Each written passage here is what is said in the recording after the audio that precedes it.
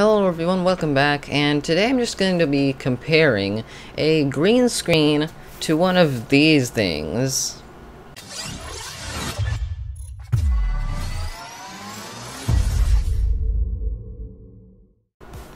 Now, the reason why I decided to make this video is because recently a company contacted me about reviewing this kind of thing.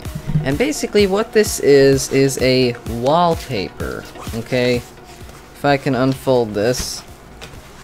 Okay, here we go. So this is what this thing is.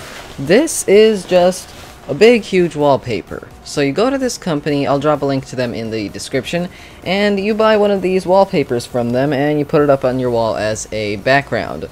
Now, option two is you could get a green screen. A green screen is just a uh, green wallpaper that you get and put up on your wall, and then you can basically do whatever with it.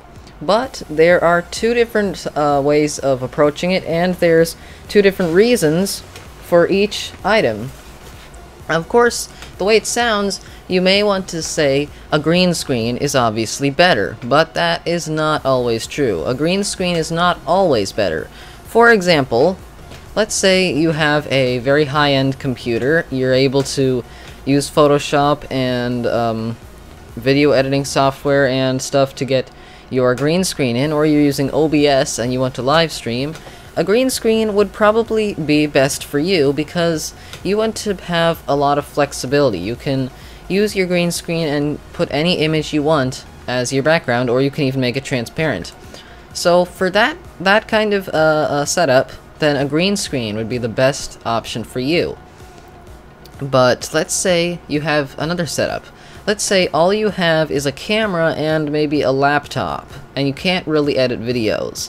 Then I'd say a wallpaper like this one is definitely definitely the way to go because this way allows you to not need any any any editing software or any kind of Photoshop or any any editing software at all. All you do is put up that that wallpaper on your wall and film yourself. Anyways, I don't think I'm gonna put it up anywhere because I really don't know how to put it up, but I'm just gonna zoom in on the camera right here so you can see it right now in b-roll but as you can see it's it's not the greatest quality but it's not too bad. On a camera it looks pretty fine. So now you guys know why you'd want a wallpaper or a green screen and if you found this video helpful then give it a thumbs up or a thumbs down. I'll see you guys in the next video. Sorry for this uh, quick video but I'll hopefully have some more coming up but my new videos will definitely be better than this. Anyways, see you guys later. Bye.